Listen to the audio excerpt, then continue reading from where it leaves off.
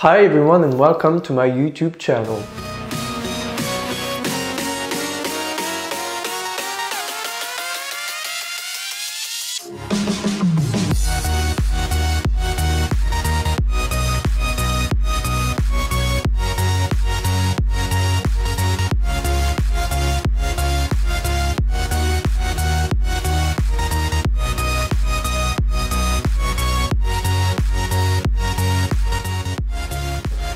This is Fred and today I'm gonna talk to you about a very important subject, magic. This video is gonna be in two parts. In the first one I'm gonna try to introduce you to my very important subject. In the second part of the video I'm gonna try to give you my personal esoteric analysis of the Harry Potter saga. So for those of you who are only interested in the second part of the video, I put you the link down below. For the rest of you, let's get to it. As I say, my name is Fred. I'm 24 years old, I live in Lyon, France, I'm French of course. I've decided to make this video in English also so that maximum amount of people can reach the kind of information I'm gonna try to share with you. But as you can probably already hear or not, English is not my first language at all, so I'm gonna try to do my best here, okay? But please be gentle. Uh, I hope you will have as much fun as I did. Let's get to it. Uh, I've been studying law in a very reputed college called Jean Moulin and uh, during my third year of studies my childhood best friend started to talk to me about 9-11. Little by little I started questioning everything and uh, soon realized that what I was learning in college wasn't always true. So after I've get my graduation I've started to make my own research and after years and years of esoterical and occult and magical uh, studies I finally discovered that magic was real. But okay, here's the thing. You don't have to believe in me. You don't have to believe in whatever I'm gonna try to share with you. I came from a very logical, pragmatical, or if we can say it this way, scientifical background, and yet here I am today. I did not believe in God, in spirits, in magic, in fairy tales, or anything like that. And the thing is, there is a way, there is a bridge between materialism or uh, a scientific way of approaching things and the spiritual world. And this way, this bridge is what I'm gonna try to share with you. So in my six future videos, we're gonna see what is truth, what is God, sacred mathematics, magic of course, secret societies and their symbols, the secret of the pyramids and other sacred places, astrology, astrotheology, which is for me the most beautiful science I have ever discovered, the divine nature of human being, the matrix, and for those of you who are already pretty familiar with this kind of subject, this is going to be the most interesting parts, and I hope for the others too. Extrasensory perception, out of body experience, or as it is called in the spiritual world, uh, mental or astral projection. So, as you can see, we're gonna have a lot of fun and we're gonna start right now. I'm gonna give you my personal esoteric analysis of the Harry Potter saga. Uh, as you can imagine, this is not to be like my future videos in a scientific and logical way of, of approaching things because uh, this is really personal, my point of view on this subject, but you'll see we're to have fun anyway. So let's get to it. The wand. Take your wand, Harry! Sorry about the accent. One of the most well-known items of magic throughout centuries, according to French occultist Eliphas Levi, the length of the magical wand should not exceed the length of the arm of the operator. In my own opinion, the wand acts like an antenna of sort, amplifying and materializing the will of the magician. Like any instrument, it can be manufactured in all kinds of ways, however certain symbols should be inscribed upon it, which will determine which powers the magician will be related to. During magical ceremonies, the wand can symbolize the element of fire, so as the pentacle can symbolize earth, the chalice water, and the sword air.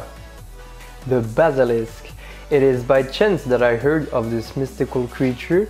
In the book of the famous theosophist Madame Blavatsky, a reference at the end of the page mentioned the name of the specialist on that matter, a person named Pliny. He wrote a book concerning ancient knowledge, including medicine, and he talks about basilisk this way. Anyone who sees the eyes of a basilisk serpent dies immediately. Unlike other snakes which flee its ears, it moves forward with its middle raised high, its touch and even its breath score grass, kill bushes and burst rocks. Even the famous philosopher Aristotle said, according to Mr. Salg, if Basilisk can give you death, we can give him back by showing him the polished surface of a mirror which will be the reason why Alexander the Great, his disciple, made himself a polished surface shield before he undertook his trip to India. Elves. Well known in fables and stories for children, these beings are part of the family of spirits of nature or elemental spirits. Some African religions talk about them. In Islam, they are known under the name of jinns, Shamans are famous for being able to contact them. Here's how the great occultist and theosophist Madame Helena Blavatsky describes these beings. The creatures evolve in the four kingdoms of earth, air, fire, and water, and called by the Kabbalists gnomes, sylphs, salamanders, and undines.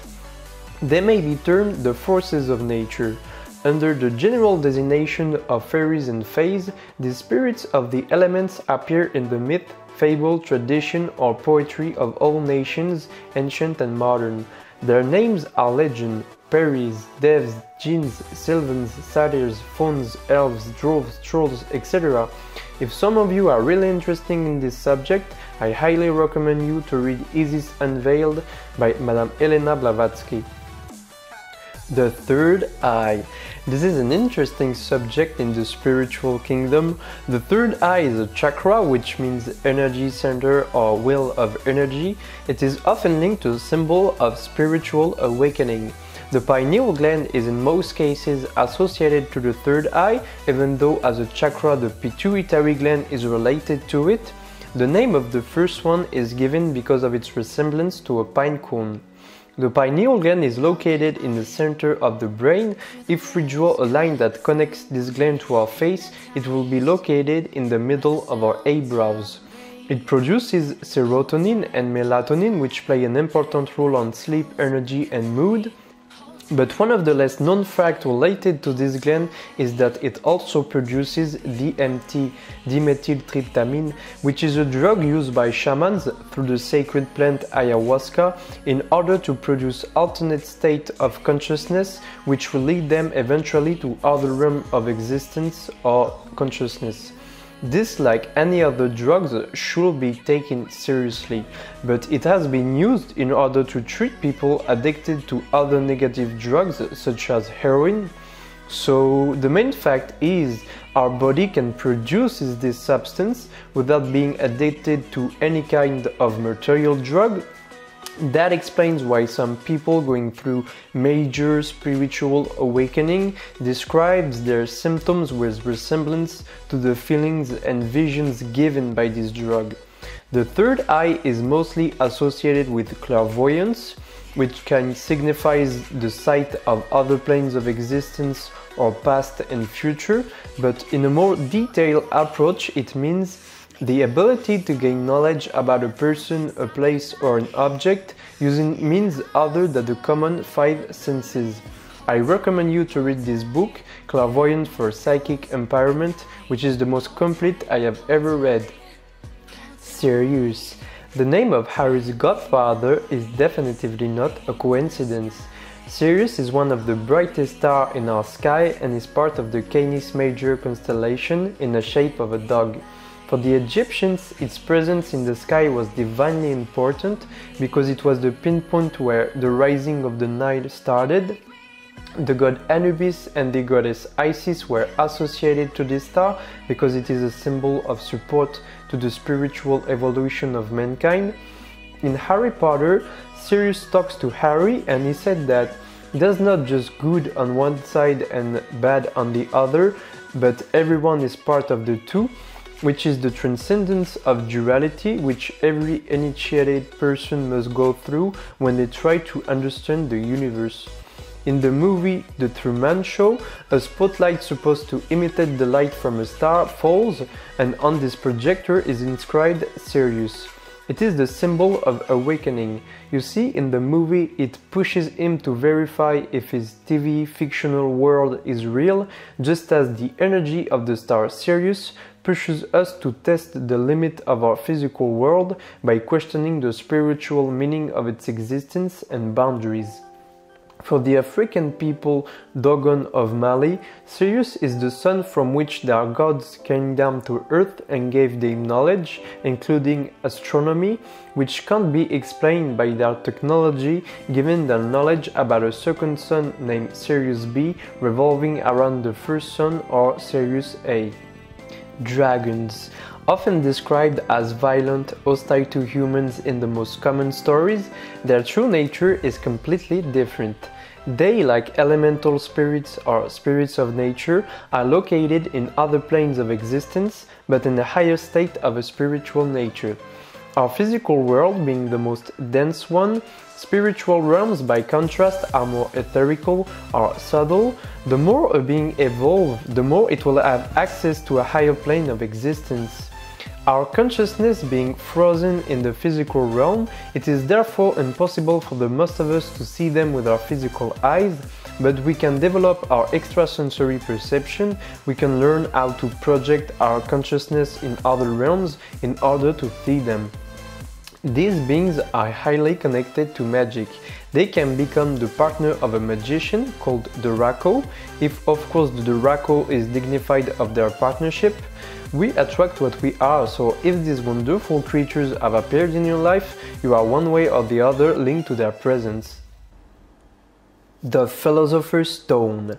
It is not a coincidence if Nicolas Flamel is mentioned along with Dumbledore to have discovered the secret of the Philosopher's Stone, as the first one is a person who actually existed, renowned Parisian bourgeois alchemist. The alchemical symbol of the Philosopher's Stone is vitriol, which in Latin gives us Visita interiora terrae rectificando invenies occultum lapidem, which translated approximately means visit the inside of the earth and by correcting you will find the hidden stone. Just like any other sacred message, it is not to be taken literally. Lost will be the one looking inside of our planet Earth because the land in question is our own bodies. The alchemist is the one who realizes that external phenomena in nature have a direct link with those who are produced in his own being. Vitriol is the symbol of sulfuric acid because the latter is used to dissolve metals except gold on which its effects are nullified. The symbols you see in the star here are planetary symbols, respectively of Saturn, Jupiter, Mars, the Sun, Venus, Mercury and the Moon. They each correspond to seven metals lead for Saturn, the gold for the Sun, copper for Venus, iron for Mars, etc. Some of you may have already heard the famous sentence of the alchemist, turn lead into gold. Well, sulfuric acid, active on most metals except gold, is in direct link with the immortality extolled by the Philosopher's Stone. You see, lead being the heaviest of the seven metals and the planet associated with dark Saturn, dark because of its distance to the Sun, represents our dense and gross or material nature. Gold, on the opposite, being the symbol of the Sun, represents our most ethereal or central, higher spiritual nature. The path to immortality, the way of the alchemist, is the transmutation of his own rough parts to become a pure ethereal being, a son of light, a soul of light. The seven letters of vitriol correspond to the seven planets, also to the seven days of the week, Saturn for Saturday, Sunday, Sun, Monday, Moon, etc., but also to the seven colors of the rainbow, the seven chakras, the seven planes of consciousness, also recognized in Islam, who talks about seven heavens. Every chakra, every color corresponds to a certain frequency, to a certain type of energy, a certain type of consciousness. So here we have a clue about the famous sentence of Nikola Tesla secret of the universe. Here's the end of my esoteric analysis of the Harry Potter saga. So, I hope you had a lot of fun. Uh, as you can see, we're gonna have a lot to talk about in my future videos, so make sure to hit the subscribe button. And I wish you a wonderful, full of magical and love and things like that kind of day. Alright?